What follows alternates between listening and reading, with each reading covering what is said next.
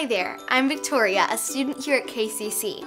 Some people believe that if your school doesn't keep up with technology, your kids are going to fall behind the rest of the world very quickly. At KCC, the administration values technology, but they don't see technology as a means to an end. They want us to become critical thinkers. As we continue to challenge ourselves to take the next step for our kids, what does that look like to challenge them, to help them think critically about themselves, about their world? What does that look like in our programs?